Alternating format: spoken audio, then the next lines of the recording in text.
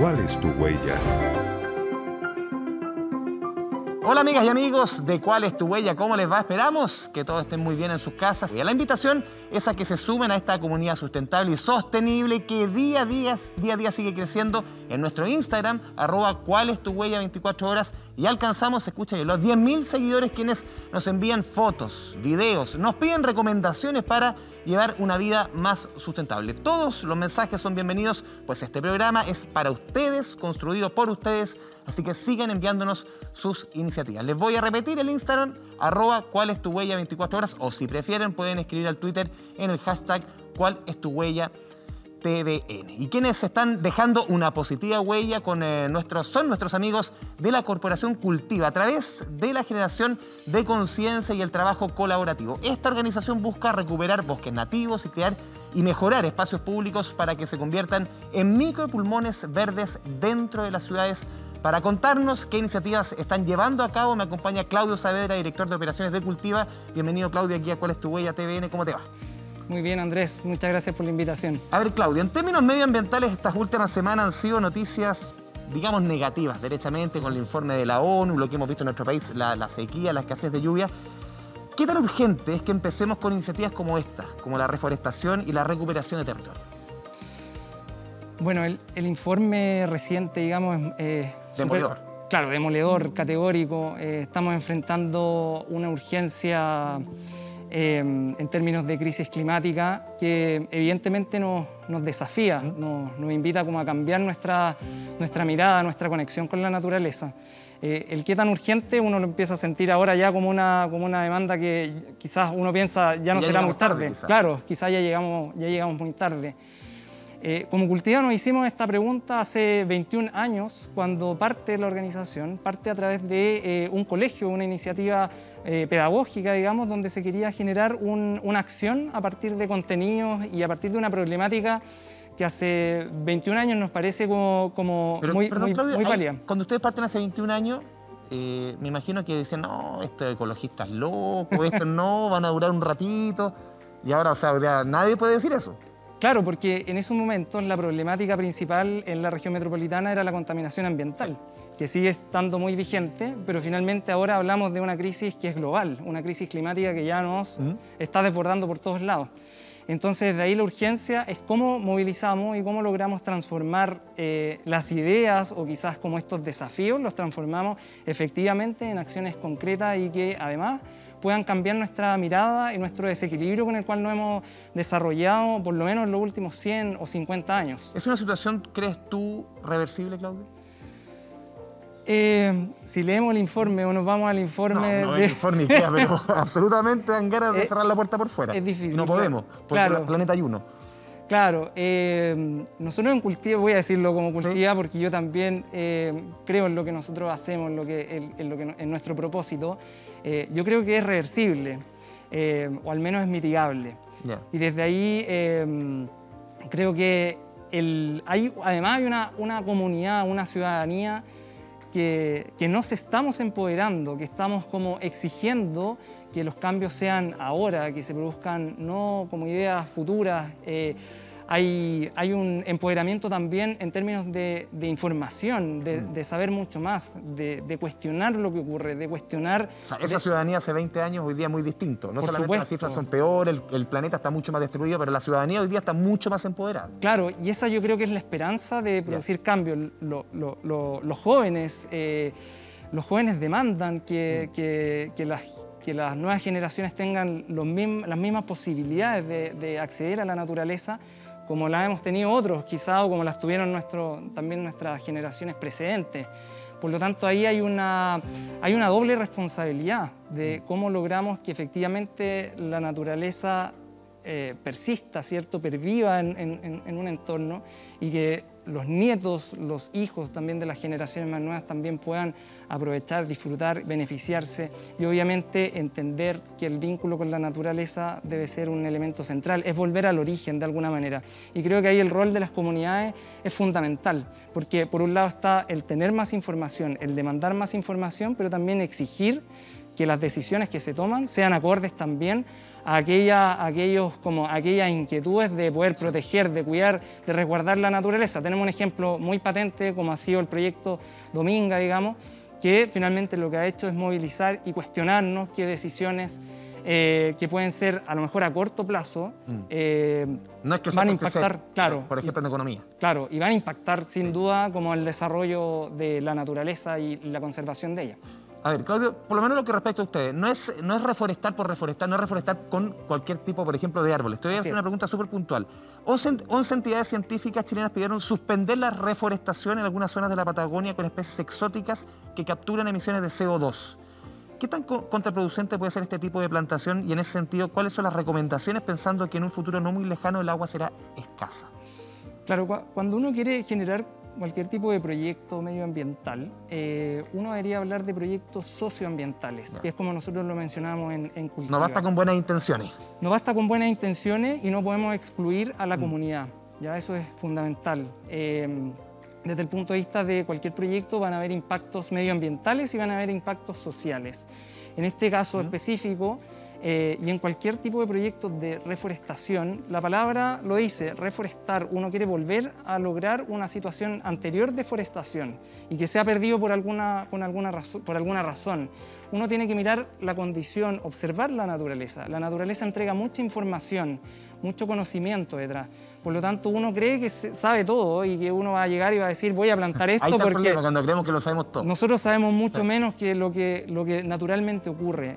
Es un tema de observar, de parar también la máquina, mirar lo que ocurre en los procesos también naturales y finalmente eso nos invita a reflexionar respecto a voy a poner lo que a mí se me ocurre que se va a dar bien acá o habrá alguna, alguna decisión eh, o alguna inteligencia natural que también ha determinado que los paisajes sean de una determinada manera ocurra. Nosotros hemos afectado sin duda con nuestro desequilibrio en el desarrollo, hemos afectado esa naturaleza. Por lo tanto, en esa situación en particular, lo que, lo que uno tiene que mirar es qué condición había en ese lugar, cómo de alguna manera nosotros podemos, entre comillas, replicar lo que naturalmente existía. Y naturalmente existen, uno mira un bosque o mira una condición natural y lo que va a ver es que hay distintas como o hay vegetaciones a distintas alturas que se generan asociaciones entre las especies, que se genera un mundo, el suelo. Lo que está ahí. Claro, y el suelo tiene vida en el fondo. Uno lo que tiene que lograr es que ese suelo esté vivo y que finalmente va a generar una condición, un ecosistema, un hábitat.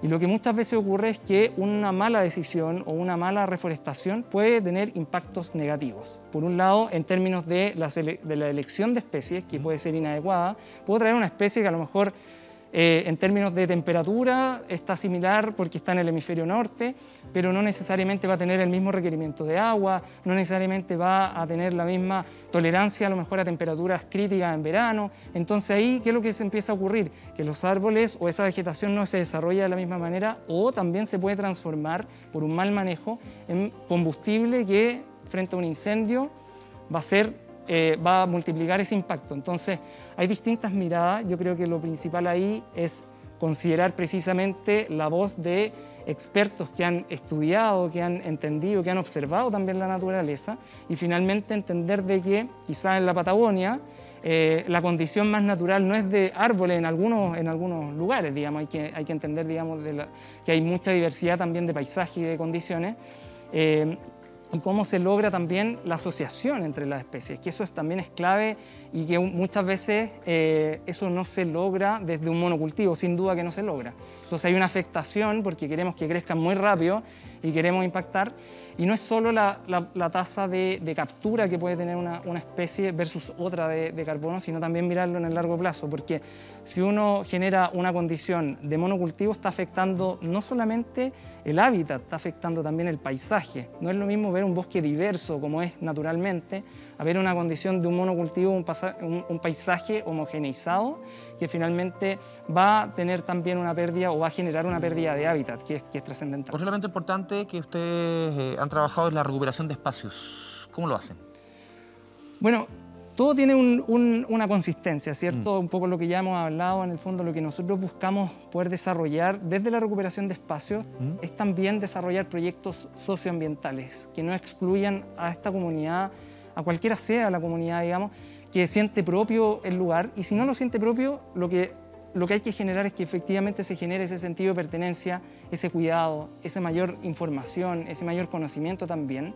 Es volver, hay harto de volver al origen, de volver como a, reconectarnos de otra manera con, con esta naturaleza que nos, que nos enseña, ¿cierto? Que nos, que nos nutre con conocimiento, eh, que a veces no aparecen en, los libros incluso. Entonces, nosotros generamos esta recuperación de espacio desde la observación, desde la experiencia también, eh, desde la transformación. En esta historia que te contaba al principio de 21 años eh, como organización, nuestro eje transversal o nuestro, nuestra línea de proyectos más como, como conocida ha sido la reforestación.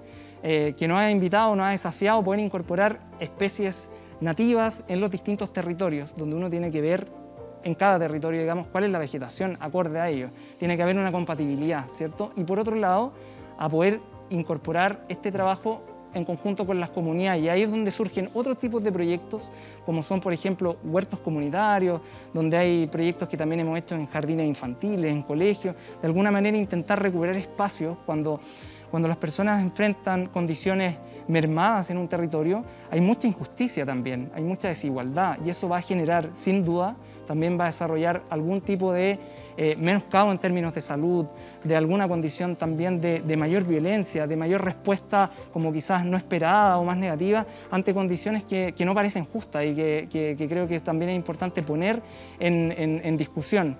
Claudio, estamos en días de, discusiones, quizás las discusiones más importantes en nuestro país que se han dado en décadas, discusiones sobre todo desde el ámbito constitucional. ¿Cuánto de esto que estamos conversando se puede proteger desde ese mundo, desde ese trabajo que se está haciendo en el ex Congreso, que puede parecer la política muy lejana, pero puede impactar acá, desde el mundo legislativo? ¿Cuándo se puede proteger estos verdaderos pulmones verdes ante esta amenaza, que ya no es una amenaza, está ahí, está presente?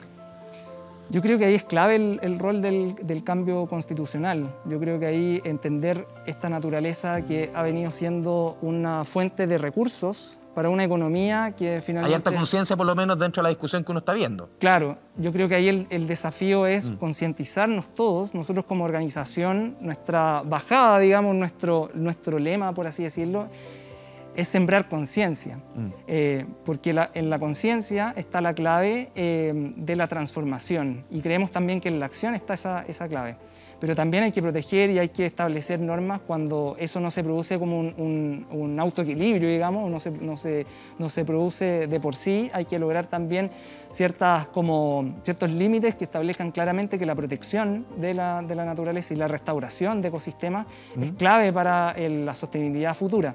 Por lo tanto, creo que ahí... Eh, la Constitución debe también asegurar, establecer el derecho también de la naturaleza a poder coexistir y que finalmente nosotros somos un ente dentro de, este universo Claudia, por último, a ver, ¿cómo hacemos para que todos los que nos están viendo en la casa, por ejemplo, sean protagonistas de este cambio? Tú eres vocero, por ejemplo, de It's Now. A ver, ¿qué significa It's Now y también cómo la gente se puede sumar a esto? ¿Cómo cada uno de nosotros puede ser protagonista del cambio? Claro, bueno, ahí nosotros 2019 estábamos como organización... Eh, que parece como la prehistoria del 2019. Parece la prehistoria. no, parece la prehistoria. Con todo lo que ha pasado. Sí, y nosotros no... Nosotros veníamos ya, como, como te decía, con una historia de, mm. hacer actividades participativas. Hay, un, hay, hay, mucha diferencia entre lograr que finalmente uno sea parte de un, de un proceso a simplemente verlo. nuestra invitación ahí es como súmate, participa, cuestiona, desafía, exige. Hay, hay distintas como, como, como, como lecturas ahí. Y estábamos en el 2019 y, dijimos, impulsémonos, demos un, paso más allá y hagamos una gran reforestación hito en el marco de la COP25 que se iba a producir en Chile. Eh, de alguna manera como golpeando la puerta, ¿cierto? Para decir, no solo nos quedemos en, palabras, sino que transformemos esto. Estamos a pocos kilómetros y queremos hacer una reforestación. ¿Por qué en Renca? Porque teníamos una relación también de tiempo, al igual que con otros territorios, pero en el fondo teníamos una relación y queríamos mostrar que desde un cerro isla eh, importante dentro de la, región, podíamos generar esta convocatoria a 5.000 voluntarios, 15.000 mm.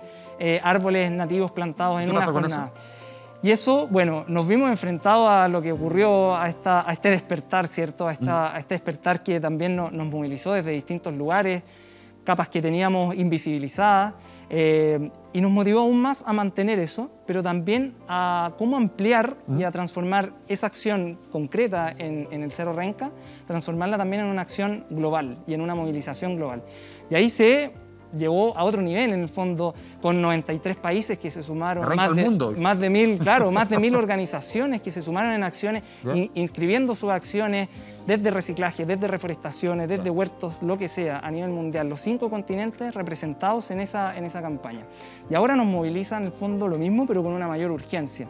Entonces la invitación es a que la gente se sume, que incluya su iniciativa, puede ser personal, puede ser comunitaria, puede ser de una organización, que en el fondo se movilicen y mm. que exijan. Ahí hay una invitación que es súper abierta, pero que también es súper concreta. La urgencia, como partimos en nuestra primera pregunta, la urgencia es ahora. Y por eso la campaña del It's Now es que se puedan meter a la página it's-medio, digamos, now.org. Y ahí pueden inscribir sus actividades, sus proyectos y sumarse. La idea es Ser que protagonista. Ser protagonistas del cambio. Claudio Saber, te agradecemos este espacio, esta tu presencia aquí en ¿Cuál es tu huella en TVN? Muchas gracias. Muchas gracias a ti, Andrés.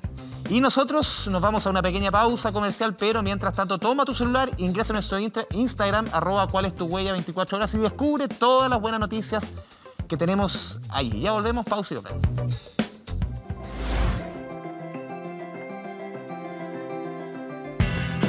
Los mejores cimientos de una casa son esos que se hacen con amor. Por eso hace 14 años Construyendo Sueños de Hogar de Sodimac realiza proyectos de mejoramiento de infraestructura para las comunidades que más lo necesitan. El compromiso de Sodimac hoy es más fuerte que nunca para seguir construyendo sonrisas a lo largo de todo el país. Sodimac, cuidemos la casa de todos.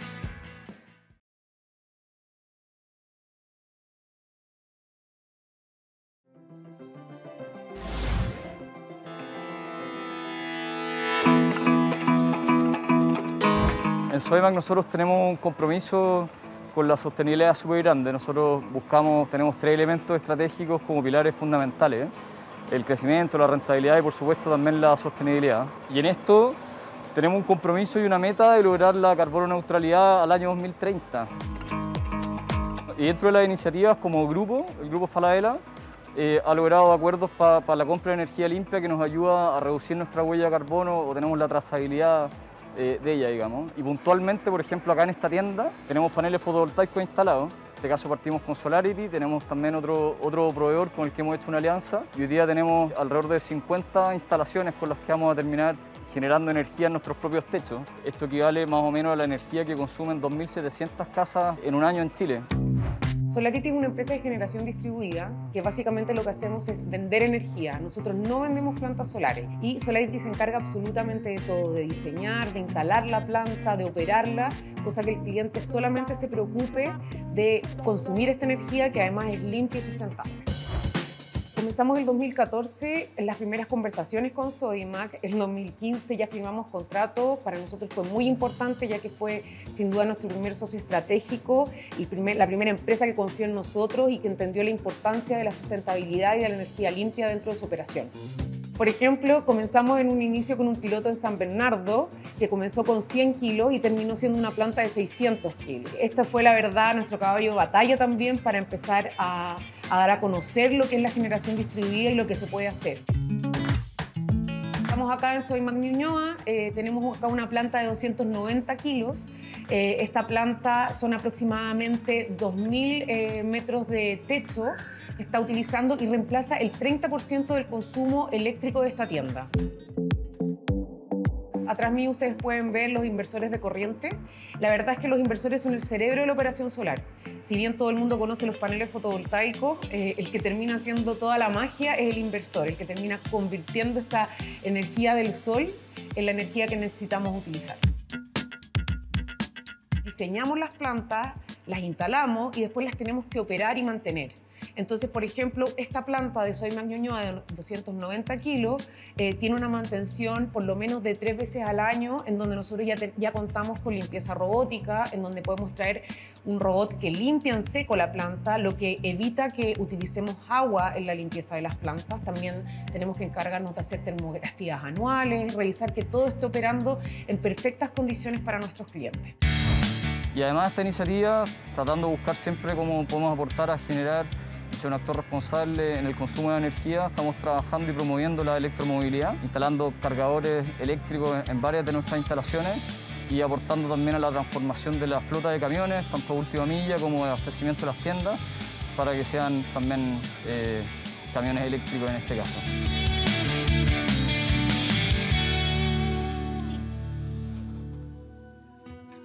El Premio Nacional del Medio Ambiente de la Fundación Reciclápolis es uno de los reconocimientos más importantes del ecosistema y de la sustentabilidad y sostenibilidad en nuestro país. Para esta versión 2021 quisimos conocer a los ganadores y el positivo impacto de sus iniciativas. La región metropolitana pasa a ser de un clima mediterráneo a un clima semidesértico. ¿Qué significa esto? Que vamos a tener que cambiar una serie de costumbres un ejemplo, el pasto. El pasto consume mucha agua.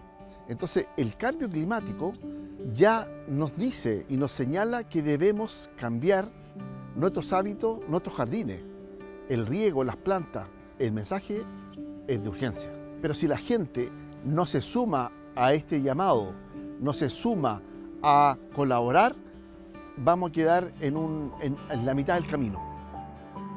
Hay que entender que las empresas tenemos una responsabilidad que no termina en simplemente producir o, entregar un cierto servicio.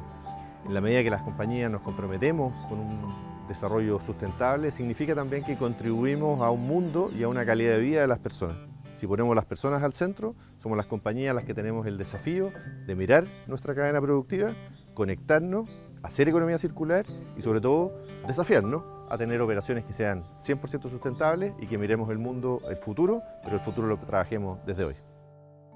Nuestro proyecto es un desarrollo de un catalizador, un catalizador que en el fondo acelera las reacciones químicas del proceso de maduración de materia orgánica, lo que tradicionalmente la naturaleza hace en cuatro o seis meses eh, por proceso de fermentación, lo que llaman compostaje, eh, nuestra tecnología lo permite realizar solo en 60 minutos, evitando todos los problemas asociados a una fermentación, malos olores, vectores, moscas, a veces problemas sanitarios. Las basuras en general, sean desechos industriales, orgánicos o domiciliarios, generan mucha contaminación de gases, monóxido, dióxido de carbono, dióxido de azufre, ácido sulfídrico. Cuando tú catalizas un desecho recién tirado, tú cortas el proceso de emanación de gases. Por lo tanto, tenemos una responsabilidad hoy día como sociedad. Entregamos esta herramienta, la hemos desarrollado, ha costado muchísimo. Ahora corresponde a la sociedad el uso de una herramienta eficaz para evitar el calentamiento global por emanación de gas efecto invernadero. Nosotros en el, o en el momento de, cosechar la remolacha azucarera, a pesar de que se ha ido trabajando bastante en la modernización de equipos de, cosecha, siempre hay un resto de pasto, hojas de remolacha, que, llega a la fábrica. Entonces este, este pasto básicamente se transforma en un residuo para nosotros. ¿Y qué se hace con este, con, este pasto? se acopia luego se transporta mediante eh, desautorizados y se entrega eh, sin costo eh, y se reparte a los vecinos agricultores que tienen algunas cabezas de ganado en su poder. Actualmente la alternativa válida que está es llevar todos los residuos a rellenos sanitarios, pero estos rellenos sanitarios cada vez se llenan más, su volumen anda disponible, va disminuyendo y aparte nadie quiere nuevos rellenos sanitarios cerca de sus casas, por lo tanto es un problema es importante para nosotros visualizar esta, esta iniciativa porque de cierta forma estos agricultores son gestores de residuos y con los años hemos logrado que esta, esta iniciativa se vaya formalizando con la autoridad sanitaria. Por lo tanto, estos agricultores ya no son gestores de residuos eh, digamos, sino que de a poco están tomando un rumbo más, más establecido, legalizado, bajo normas, normas claras. Y eso para nosotros es súper importante porque creemos que con estas normas claras, con este, estas reglas del juego claras, eh, esta iniciativa se puede reciclar en otras empresas y en otros lugares del país. Nosotros en Chile eh, desarrollamos el, el programa de tratamiento de aceite desde el 2008 hace 13 años que generamos una alianza con una empresa que se llama Rendering. Rendering es una empresa que en Chile eh, está dedicada a la recolección, el traslado y la primera parte del procesamiento de los residuos de aceite para poder enviarlo a mercados europeos donde son convertidos en biodiesel. Todos los aceites de nuestros 88 restaurantes, desde Arica a Puerto Montt, reciben el mismo tratamiento. Nosotros no desperdiciamos el aceite, no botamos el aceite. Es súper importante porque en estos 13 años eh, hemos reciclado 3.000 toneladas de aceite. Hay que destacar y hay que recalcar eh, que la contaminación de los aceites eh, en los líquidos, en, el agua, es tremendamente dañino y nocivo para los ecosistemas. Un litro de aceite contamina 10.000 litros de agua de manera irreversible. Como Fundación Parque Tecado creemos que la conservación y el tema sostenible tiene que estar en el corazón de todo el mundo. Entonces, este espacio que era muy rico, pero invadido por la mora, rico en, en árboles antiguos, quisimos restaurarlo, conservarlo y tratar de apoyarlos para que especies invasivas, tanto de afuera como nosotros mismos, los humanos, pudiéramos convivir y eh, presentar este espacio para la comunidad. Este año inauguramos un vivero el cual estamos incentivando a plantar, a poner plantas autóctonas de vaso requerimiento hídrico para que todos podamos aportar y hacer un aporte a este cuidado del agua que tanto nos interesa.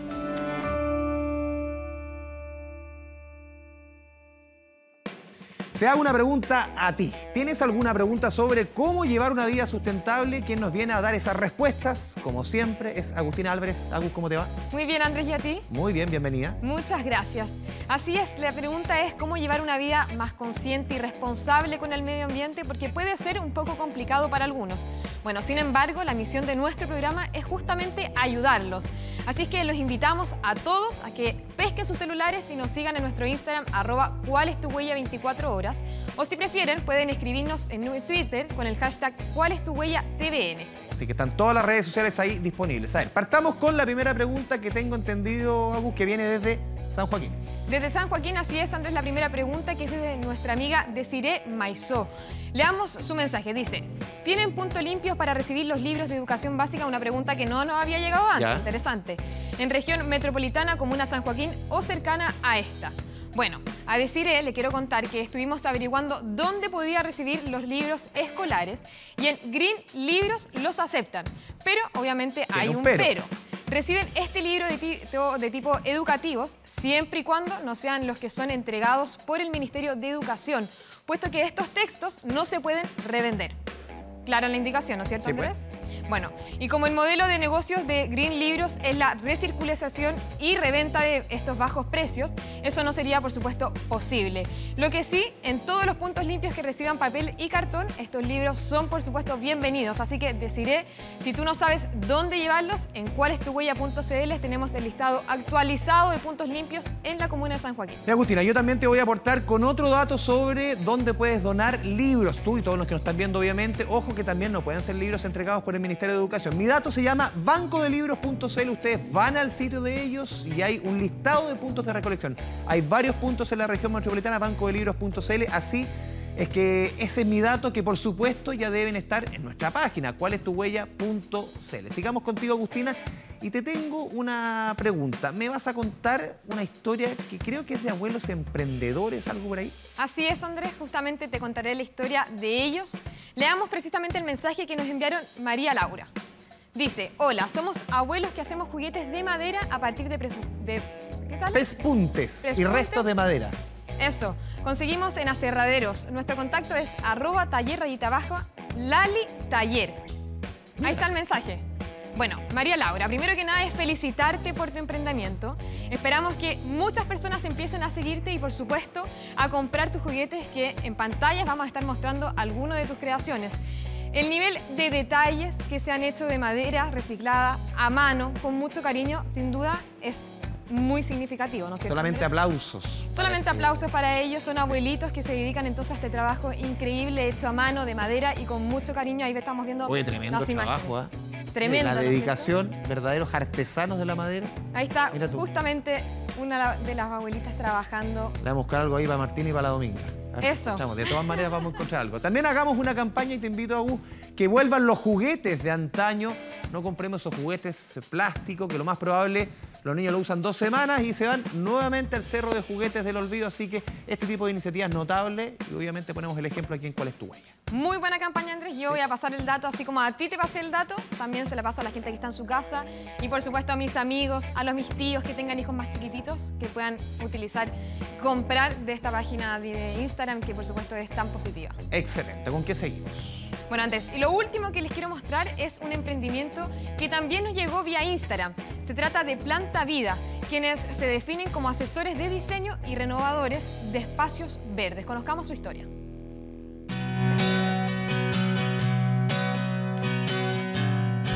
Planta Vida es una empresa de paisajismo con enfoque sustentable. Hace siete años eh, que yo me dedicaba a vender huertos, plantitas de huerto y cosas así. Hacíamos una caja que se llamaba Caja Vida. Y yo después me fui a Estados Unidos y hace un año ya casi abrí Planta Vida bajo la necesidad de cambiar un poco la visión del paisajismo tradicional. Hay tres em, diferencias principales del paisajismo tradicional con el paisajismo sustentable. La primera de ellas y las más importantes es que nosotros no ocupamos químicos eh, dañinos para el medio ambiente. ¿Eso qué quiere decir? Que todos nuestros productos para fumigar no dañan ni la tierra, no la contaminan, quiere decir que son biodegradables, ni nos contaminan a nosotros, ni a los bichos benéficos para las plantas como son las chinitas, eh, algún tipo de avispas, etc. La segunda parte te diría yo que es tratar de siempre integrar plantas tanto nativas como polinizadoras. Entonces tener un paisajismo más consciente en cuanto a la selección vegetal. Lo tercero y cuarto es que nosotros no ocupamos ningún tipo de herbicida, todas las malezas se sacan de forma manual. Y eh, lo típico que dicen los señores que hacen los paisajismos, el me pica la tierra, nosotros hacemos eso, pero mucho menos, porque al hacerlo se libera carbono al ambiente, que es lo que no queremos, porque producen efecto invernadero. Nosotros tenemos servicios de poda, de mantención, piscina, retiro de escombros, eh, plantación, también eh, eh, manejamos huertos, asesoramos con, la piscina, con la ayuda de la mantención de las bombas, dejarla lo más limpia y usable posible también. Tenemos veredas que hacemos a edificios, hacemos condominios, hacemos casas particulares y departamentos.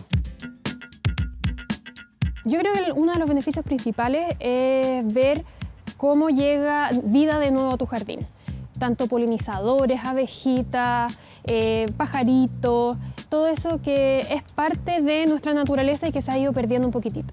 Además de, hacerlo de forma consciente, manteniendo, tratando de mantener las hojas en las jardineras, eh, no te sale tanta maleza, entonces dejamos de tener esos problemas que uno tiene que estar trabajando constantemente. Al final uno trabaja con la naturaleza en vez de contra ella. Creo que podemos crear un impacto positivo en regeneración de suelo, en el uso consciente de las plantas, de equipos, maquinaria, fertilizantes. Quedan todos invitados a meterse más al paisajismo sustentable que se puede. No es más caro, de hecho, si es que se hace de forma inteligente, es incluso más económico que el paisajismo tradicional.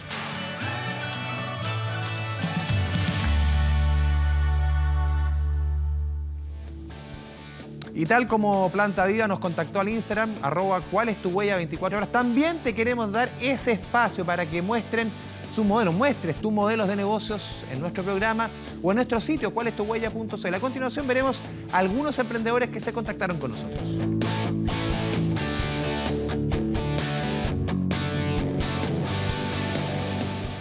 Hola, yo soy Natalie Wilk, la fundadora de Culot Calzones Menstruales y no sé si sabían, pero durante toda una vida una persona menstruante utiliza hasta 12.000 productos desechables, entre ellos toallitas, tampones, que se usan una sola vez y después se demoran hasta 500 años para deshacerse.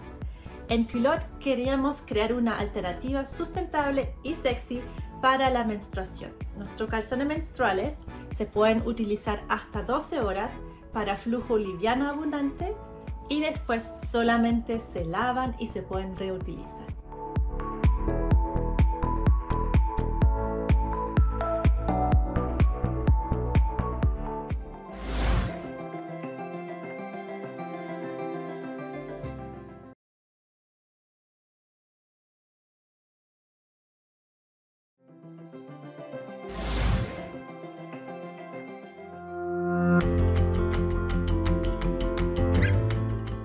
Hola amigos de ¿Cuál es tu huella? Bienvenidos, los estamos esperando aquí en el Parque Quilapilún, un lugar especialmente diseñado para que la gente disfrute de la naturaleza y también poder poner en valor los ecosistemas mediterráneos de nuestro país. Adelante a nuestro parque que es gratuito para la comunidad. Una de las cosas que quisimos hacer en este parque es tener los estándares más altos en sustentabilidad y para eso decidimos diseñar un edificio que contuviera todos los elementos amigables con el medio ambiente, desde ser eficiente en aislación utilizando adobe, teniendo un techo de eh, vegetales, teniendo sistemas de calefacción de agua y en el fondo con eso eh, hicimos este edificio que tiene una certificación internacional LED. Este es un espacio en el fondo que cuenta en nuestras oficinas administrativas, pero también cuenta con una sala de educación ambiental ya que está abierta a la comunidad, a universidades, a colegios para poder hacer charlas y, profundizar los conocimientos que se ven en el mismo parque. Acá hemos llegado a la zona del, que representa el matorral espinoso, un ecosistema típico de zonas montañosas pero de laderas más secas. Todas las especies son relativamente bajas y cuentan con un gran número de espinas para protegerse del efecto de los animales. ¿ya? En este lugar podemos encontrar cactus y también las especies de chagual. El chagual tiene una característica ¿ya? de ser endémica, pero asociado a los chaguales siempre existe una mariposa, ¿ya? una mariposa muy bonita, grande y que una vez que esto florezca ¿ya? en las próximas semanas va a aparecer esta mariposa que lo más probable que su larva está creciendo en las flores de los años anteriores. Ahora los voy a invitar a unos lugares más interesantes de nuestro parque, que es nuestro cactario, que tiene especies de distintas partes de Chile. Para eso les voy a dejar con Cristian, que es nuestro administrador del parque y que conoce mucho sobre cactus. Este interesante cactario tiene varias especies. Dentro de ellas tenemos las Heliosis curvispina, ¿ya? y tenemos las neoporterias. La particularidad de la neoporteria es que florecen en invierno. Flores un color muy intenso, muy lindo, en donde se protegen, ya porque genera una sustancia muy dulce, eh, evita que las hormigas lleguen, ¿cierto? Y favorece a los agentes polinizantes, como las abejas y, también el picaflor, que llega mucho. Los tricocereo atacamensis, como este, esta especie que se encuentra aquí, son de Atacama, son especies que están protegidas y vulnerables llegan a alcanzar hasta 7 metros de altura. Las crustáceas con, su poder energético que tienen, que guardan en el tallo, ¿cierto? Eh, pueden fácilmente sobrevivir eh, sin disponibilidad hídrica, por lo tanto nos favorece, nos favorece acá en el parque, ya que es un problema que tenemos, el, tema del agua, que es súper importante. Aquí nos encontramos con el toromiro, ya, su nombre científico Sofra toromiro, originaria de Isla Pascua, está extinta en estado salvaje y que solamente se producen en vivero. Esta zona en particular eh, está con especies que están vulnerables en, Chile en el fondo. Y aquí nos encontramos con el guayacán, una especie también muy longeva, también está en peligro de extinción por el tema que las personas lo cortan demasiado para obtener la leña.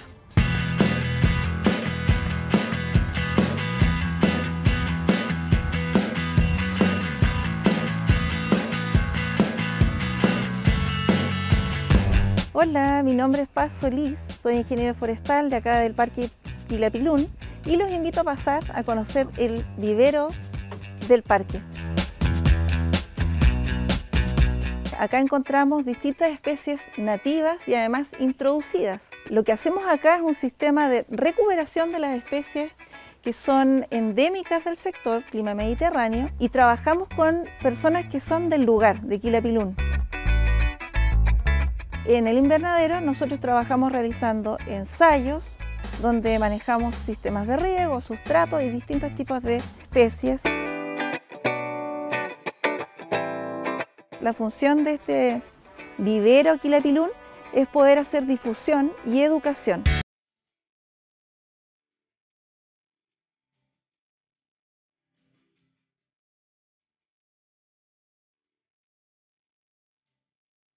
Muchas gracias por venir. Espero que hayan aprovechado el Parque Quilapilún y conocido todas sus bellezas, sus cactus, sus ecosistemas, su invernadero. Y les recuerdo, pueden venir a, visitarnos en la comuna Colivina, en la comunidad de Quilapilún. Pueden encontrar nuestra información en internet. Los esperamos.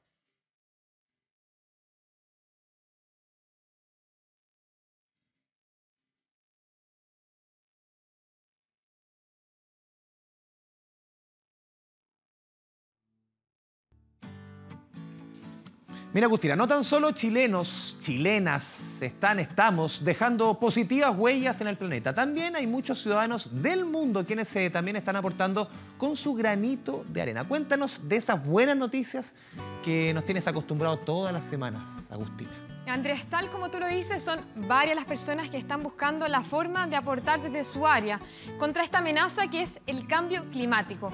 Un ejemplo es la francesa Clarisse Merlet, creadora de la marca Fabric. Fabric, imagínate. Una especie de ladrillo hecha de ropa gastada y vieja. Los ladrillos de esta emprendedora francesa son preciosos, los vamos a ver a continuación en las imágenes.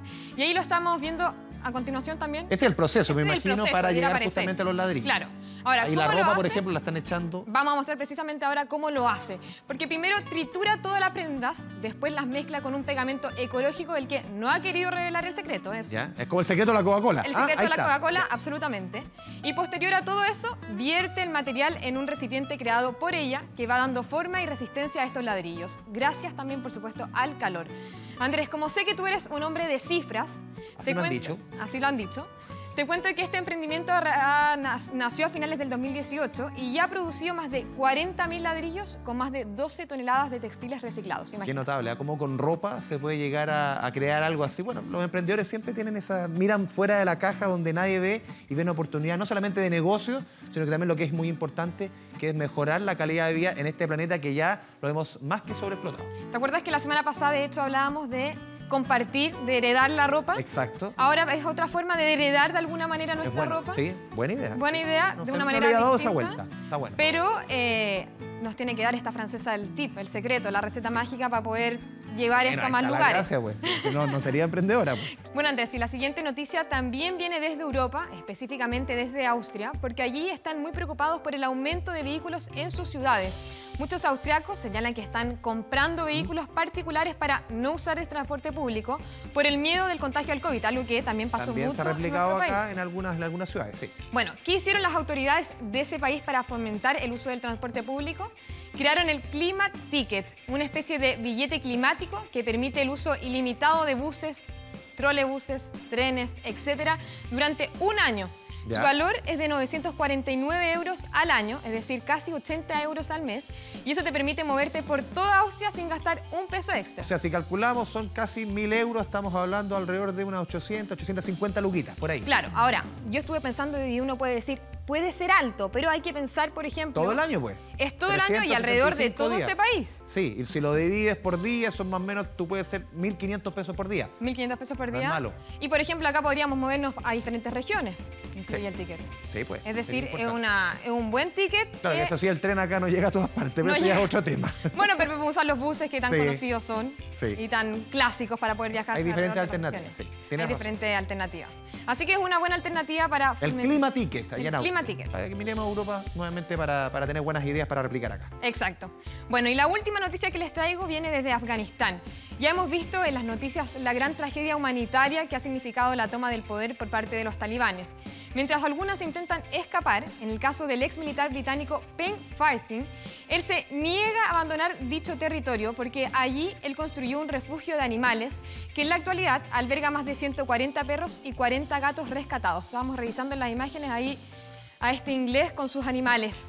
Bueno, para Penn Fanting has prometido que no se irá de Kabul hasta que 71 personas afganas, 25 integrantes de su personal y su familia y los más de 200 animales puedan ser trasladados a Gran Bretaña. Dice que pagará de su bolsillo un avión de carga para sacar a las 71 personas y a los animales de la ciudad, por lo que pide ayuda al gobierno de Reino Unido para el traslado. Las autoridades inglesas se han comprometido a analizar el caso. No se han comprometido todavía a dar ayuda, pero sí a analizar el caso. Así que esperamos que pronto tengamos buenas noticias respecto a este inglés que no solamente está ayudando a muchos afganos a salir de este territorio que está siendo absolutamente complicada la situación en que está hoy en día. Geopolítica muy complicada ayer allá en Afganistán desde hace un par de semanas por la llegada del talibán y todas las complicaciones que ha traído sobre todo para las mujeres, también un punto bien importante aquí. Agustina, muchas gracias como siempre por tu presencia aquí en eh, ¿Cuál es tu huella? Por las buenas noticias que nos entregaste hoy y el capítulo de hoy se nos está acabando. Ha sido un honor como siempre, como toda la semana, reemplazar a Carolina Escobar en el programa que se quiere como un verdadero hijo, lo ha dicho la misma Carolina. Ha sido una experiencia gratificante escuchar todas esas buenas iniciativas que se están llevando a cabo en el país por un mundo mejor. Amigas y amigos, fue un agrado acompañarlos. Esta semana será hasta la próxima cuando nos volvamos a preguntar cuál es tu huella. Que les vaya bien.